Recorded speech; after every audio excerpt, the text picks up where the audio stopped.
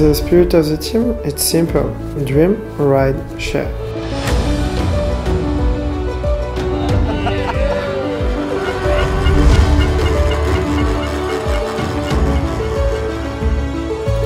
There's a lot of work behind the scene that not everyone can see.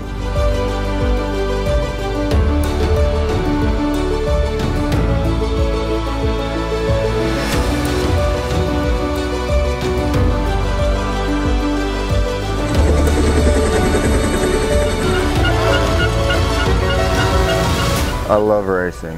I've always loved racing and I love it more than I ever have now.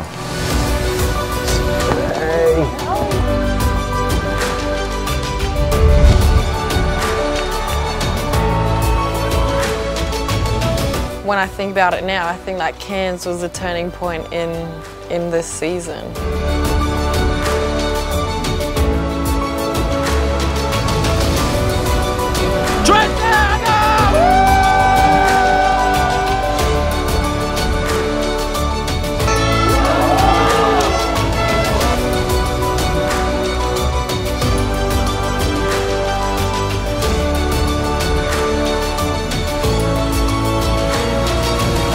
Bike's taken me everywhere, you know? But I think like the best thing is just the, the stories it makes.